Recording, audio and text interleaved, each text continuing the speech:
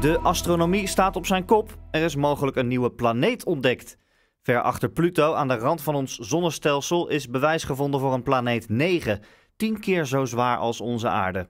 De wetenschappers die het bewijs vonden waren zelf ook totaal verbaasd. There was a moment um, sitting right here in this office where we saw something that we had not anticipated at all, and that was the moment for me that was that was kind of it was jaw dropping, but not jump up and down say hurrah, more like stunned, like oh, this is real. What's really going to be exciting is when it's seen, and that's when it'll go from uh, a really compelling theory to absolutely true, and that will change astronomy textbooks, children's books, but it'll change even things like my daughter's lunchbox, which has has the planets on it. You know, everything in our culture has these planetary images, and they'll have to add one more.